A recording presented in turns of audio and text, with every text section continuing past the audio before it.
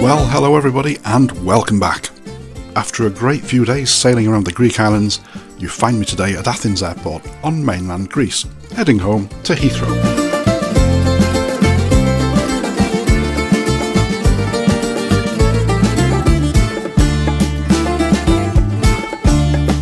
I'm starting my journey in the Aristotle Onassis Lounge in the International Departures area of the airport, accessed with my priority pass card. Viewers may like to know that this is exactly the same lounge used by Oneworld operators, American Airlines, and British Airways. It's quiet now, but became unbearably overcrowded by the time that I left. Today's breakfast is a delicious cold kebab meat and tomato sandwich. It doesn't look good, but it tasted amazing. So much so, in fact, that I had two. The lounge, though, is very basic, so it doesn't offer hot food at breakfast time, and nor does it have any form of at-seat service. Boarding today is as with my previous flights from here, by bus, which is fine, as whilst Sky Express does offer to let you buy priority boarding, knowing that most UK flights depart from remote stands, I opted out.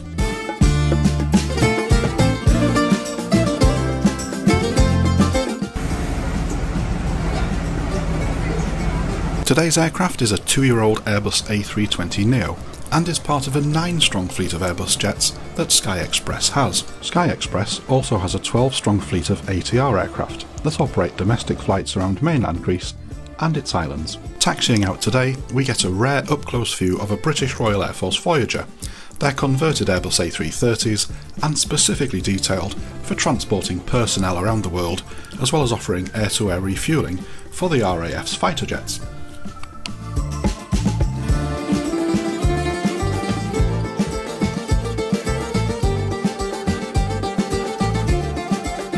Climbing out over the Greek islands, it's a perfectly clear day, and I'm relaxing in a very comfortable seat. Today's 3 hour and 35 minute flight will see us cruising at 38,000 feet for the near enough 2,000 mile journey home. Founded in 2005 by a former Olympic Airlines pilot, Sky Express has grown steadily to now rival fellow Greek carrier Aegean, linking Athens with the Greek islands and many of Europe's capital cities, with a low cost model and, as we'll see, quality service. Peeking around the cabin, you'll see that I have nobody sat next to me in the middle seat. And that's the same in all of the middle seats in the first few rows.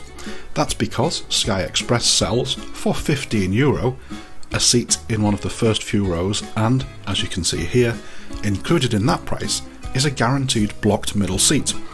This is superb as it rivals the cabins of many European business class products, like you'd see in British Airways Club Europe and Lufthansa Business Class. But it's not all a land of milk and honey, as we'll see soon.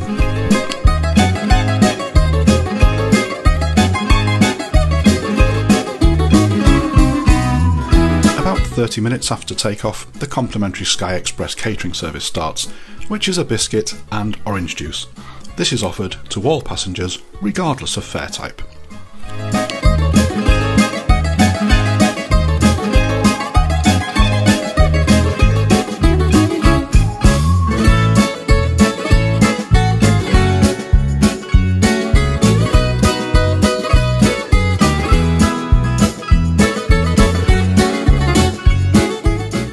Croatia, it's time for the Sky Express lunch service.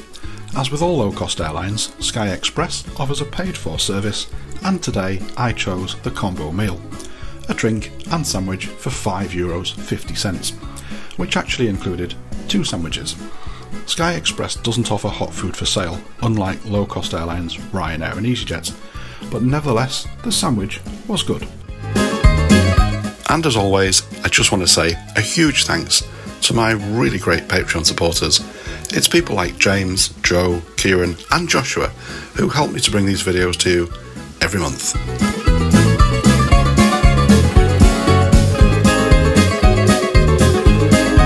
Sadly, it started to cloud over as we crossed the Alps into Swiss airspace, and my mood also clouded over somewhat at this point, ladies and gentlemen, and it had nothing to do with mountains. As you can see, a passenger decided to come and plonk himself in the middle seat next to me, the one that was supposed to be blocked. I'll tell you more on that at the end.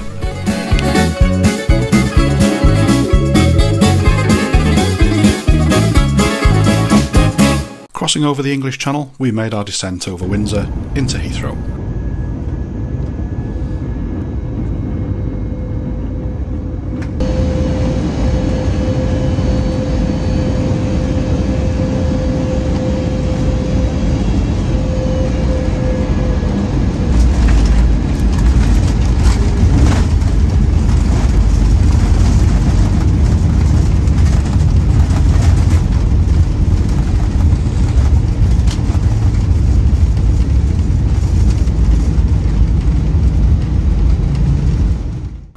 So before I tell you the backstory about my seat burglar, let's look at today's fare. With a base one-way fare of just €46.99, plus the upfront seat at €15 Euro and lunch costing €5.50, my total one-way fare today was just €67 Euro 49 cents. So, just back at Terminal 2 now, the Queen's Terminal off the Sky Express flight. I wanted to love it. I wanted to get off that flight and tell you all how great Sky Express was.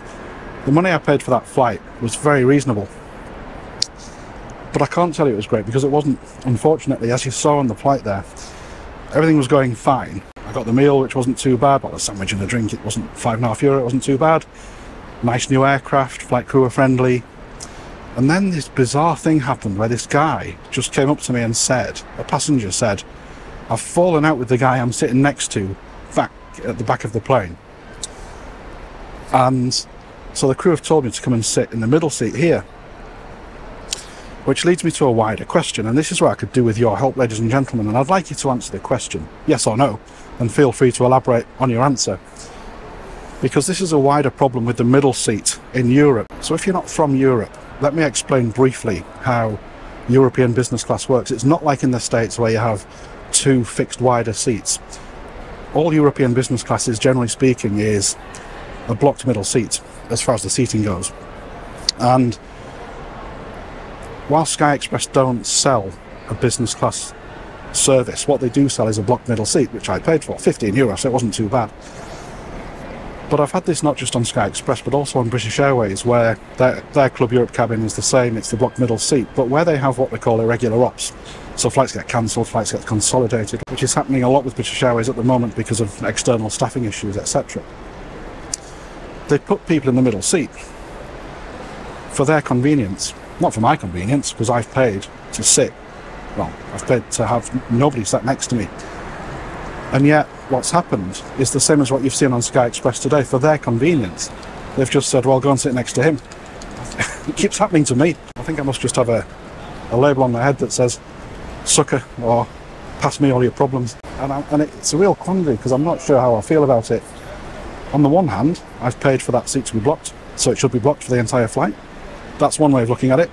On the other hand, I am quite a compassionate person, and I'll always try and help, and this is where I'm wrestling with it in my mind. So the question is quite straightforward, is if you pay for the middle seat to be blocked, as in you buy a product where it's advertised the middle seat to be blocked, should that middle seat be blocked?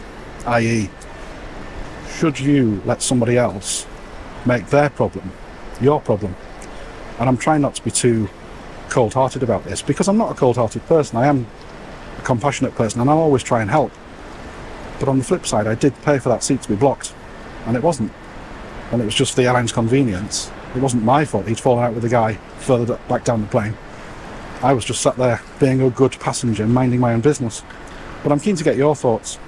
Give me a yes or no, tell me what your thoughts are. So on that basis, would I recommend Sky Express? Um, if it was cheap enough, yeah. It, other than that, it wasn't a bad product, it wasn't a bad service.